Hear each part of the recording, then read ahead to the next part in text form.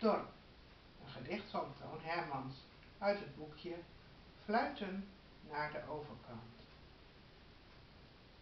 Waar het geurde naar Camille, geurt het nu naar Piet en Pop. En een love van Bob Dylan waait de stille landweg op.